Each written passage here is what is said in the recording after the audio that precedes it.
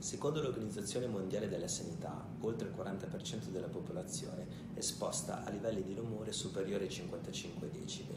I rischi per la salute includono la perdita precoce dell'udito, malattie cardiovascolari e disturbi del sonno.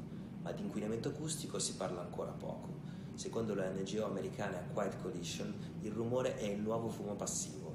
Una provocazione forse, ma utile ad alzare il livello di attenzione. Spesso le amministrazioni locali sono già le più sensibili e impegnate a trovare soluzioni innovative per rispondere alla crescente domanda di noise detox. Come azienda leader a livello mondiale, Amplifon da anni monitora il fenomeno. Con il progetto Ci sentiamo dopo, per la prima volta ha portato l'educazione all'ascolto responsabile e al benessere uditivo all'attenzione dei più giovani.